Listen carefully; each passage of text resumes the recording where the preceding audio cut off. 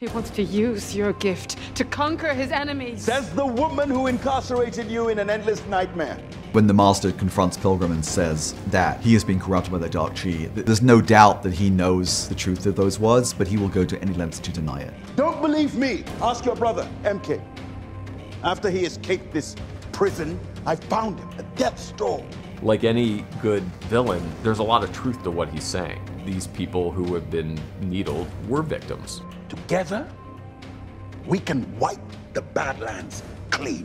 It's a moment to not only uplift them, but I'm desperately trying as well for them to connect with me. You treat the gift like it is a weapon that you can wield. It is not.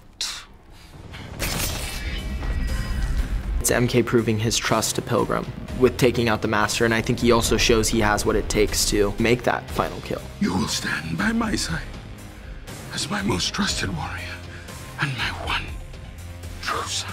When this final bit of humanity is scrubbed out of MK is when this person comes in and says, I love you and you're my son. You're not my sister. She died so that I could live. I'm standing right in front of you, Sanzo. Stop playing mind games with me and tell me what you want. I want you to remember who you are. When Sunny meets Kannin is an interesting moment because prior to that, he really wanted to find out what happened to her. But she's a really key, important figure in Sunny discovering who he really is. Do you believe me now?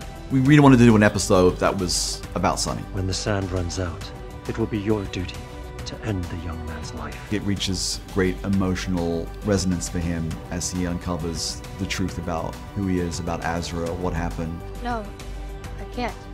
Killing is your destiny, Sanzo. Sunny's realization in this episode, and for the audience as well, that there are no utopias. There's that sense at the end of the episode of an epiphany. They can resolve this and they can defeat Pilgrim together. We shot that in a blizzard in the middle of Glendalough, which is an amazing national park in Ireland, and it was just a magical moment. They really feel like they're walking with purpose and that they're headed off to final conflict, and it really is, I think, a powerful image.